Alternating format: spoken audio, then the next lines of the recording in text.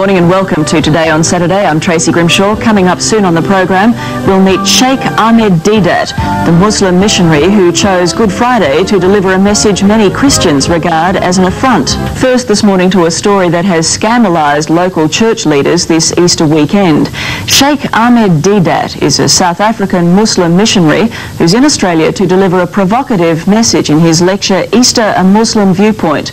In a country that prides itself on the right to free speech, it is not the content of his lecture that's caused affront, it's the timing. Sheikh Deedat delivered his speech on the most solemn day of the Christian calendar, Good Friday. Sheikh Deedat joined me earlier. Good morning to you. Good morning, ma'am. What's the purpose of your visit to Australia? My purpose is to educate my people as well as the Christians in this country regards to our relationship with Christianity. Because Islam is the only non-Christian faith which makes it an article of faith for its followers to believe in Jesus. No Muslim is a Muslim if he does not believe in Jesus. See, the bulk of mankind, the non-Muslims, they do not know that in this holy book of ours, the Holy Quran, is enshrined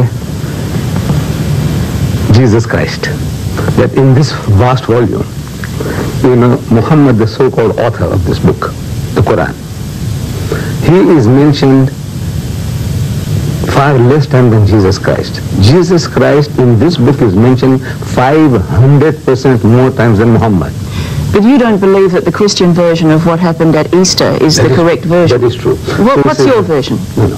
So he says now, number one, the people don't know that we believe in Jesus as one of the mightiest messengers of God. We believe in his miraculous birth, which many modern day Christians, including the bishops of the Anglican Church, they don't believe today, but we believe. We believe that Jesus was the Messiah, translated Christ. And we believe that he gave life back to the dead by God's permission, and he was born blind and the lepers by God's permission. And we believe that God took him up and he's coming back.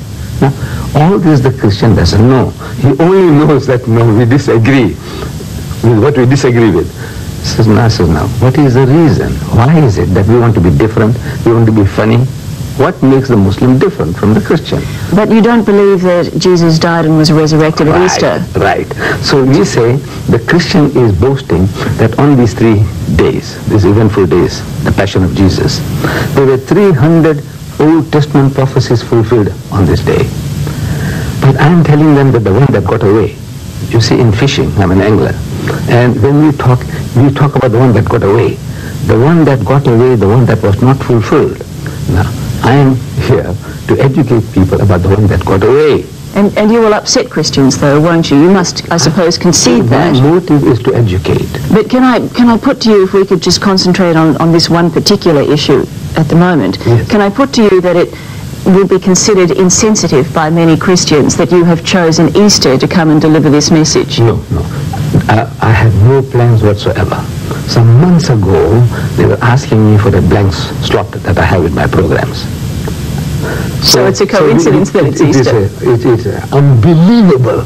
It's un, that my, my very first major lecture happens to be on Good Friday. Extraordinarily It's unbelievable. It's extraordinary. But coincidences to happen. But now, to me, this is the most appropriate subject for the day. Let's say on Christmas Eve, on, on Christmas Day, the birth of Jesus, we are supposed to celebrate. I'm talking about the passion of Jesus. You know, what happened to him and how he died and then they, they uh, beat him up. No, doesn't make sense. All it right. doesn't make sense. When you talk about Easter at Christmas time, it doesn't make sense. You No. talk about Easter, Easter time. All right, well, let's say at Ramadan, Right. the Pope goes to Tehran and Right. says, you've got it all wrong. Right? Okay. Come. Well, how would he be received? His Pope, His Holiness, yes. Just coincidence that you, look, you mentioned his name. He has just written a book called Crossing the Threshold of Hope. It had become the world's bestseller in 12 countries immediately on publication. In this, he says, we must have a dialogue with the Muslims.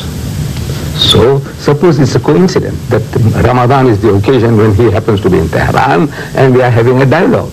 He says, now look, you people, man, you're killing yourself. Who the Pope will reason with us. He said, you know, you Muslims, you pray five times a day. Every day of the year. Then, you know, that whole month of Ramadan, you're going to go through hunger and thirst. Because from before sunrise to sunset, the Muslim, no eating, no drinking, no sniffing, no smoking. So what kind of life are you people leading? Is your God hungry for that? is your God hungry for your prayers? Is he hungry for your fasting? He says no. Now he has a right. He has a right to say, look, there is an easy way. Can I ask you this? Are you expecting trouble on your visit to Australia? Because you, I notice you have two bodyguards in the studio here. I, this is the first time in my life. I don't know Australia. You know, it's, it's, it's a rough country like the old cowboy days. I don't know. You know, the cowboys and cooks we see in films. I thought maybe this vast please, please forgive me, please forgive me. Australia has enshrined in its democracy freedom of speech, Right, Sheikh. I don't think that... I don't know. I, see, I experience it very much. I appreciate it very But you know, you don't know, some men, you don't know what's going on. Like when I go to America, the West, I don't know. There's the cowboys and cooks are still around with, the, with the guns ready to, for blazing away. Can I ask you this? Why, do, do you believe that we must all worship the same God? I mean, we don't all eat the same food. We don't all speak the same language. Why must we all worship the same God? Why isn't there room for us all to differ? No, no. We can, we, we must tolerate each other as points of view, differences. But everybody is aiming to get a consensus. Everybody. The Christian wants the whole world to be Christianized. True or false? Look at the present moment. There are 35,000 crusaders occupied in Africa, raising the dust. Not priests, ministers of the church, but crusaders from America. They want to change the continent. They want to make Africa a Christian continent. In 1977, in Indonesia, there were 6,000 crusaders trying to convert the Indonesians, and they have succeeded so far in converting 15 million Indonesians into Christianity. And by the turn of the century, they want to make Indonesia a Christian nation.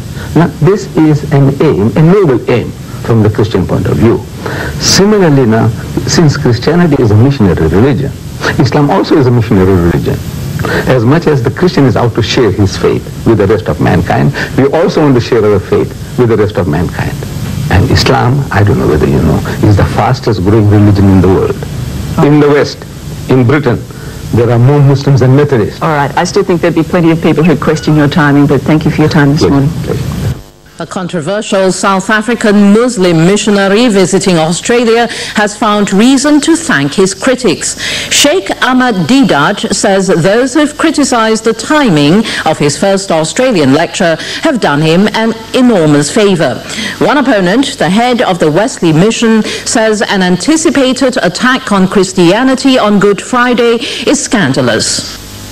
As he embarks on his first Australian tour, Sheikh Ahmed Deedat says he hopes to educate Muslims about Christianity and Christians about Islam. This Good Friday, what they're talking about, these things didn't happen. And my proof is from the Bible itself. The timing of the first public rally on Good Friday at Sydney's Town Hall has created a who took the storm. Can you imagine if Christians hired the Sydney Town Hall to deny that Muhammad was a prophet, to attack the Quran, and to disbase Islamic faith in the middle of Ramadan? What would happen? I'll tell you what, I would have to join Salman Rushdie. Tour organisers say they hope Reverend Moyes will meet the Sheikh to discuss the differences between the two religions. But we are not attacking. We just want to explain whether you believe or do not. It is up to you. The Sheikh believes Reverend Moyes has done him a great favour. Look, if he had ignored me, m- your newspapers and your radios and your TVs would have never known that Deedat had come and gone. The New South Wales Ecumenical Council declined to comment on this sensitive matter, saying it does not want to inflame the relationship between Christians and Muslims, particularly at this holy time. While the Australian Federation of Islamic Councils welcomes Sheikh Ahmed Deedat's visit, but are disappointed that it clashes with their annual congress. Plans for a Muslim lecture to be held at the Sydney Town Hall on Good Friday have sparked a religious row. South African Muslim leader Sheikh Ahmed Deedat has offered Christian church leaders the chance to join the theological debate, but they've rejected it because the event coincides with one of the holiest days in the Christian calendar. 78-year-old Sheikh Ahmed Deedat has taken on religious leaders throughout the world, arguing the teachings of Islam with evangelists like Jimmy Swaggart. We are not taking uh, exception to that because this is, you are not used to the, our names. But it's the timing of his Easter visit that's upset Christian church leaders. The Sheikh has made a booking on Good Friday at no less a venue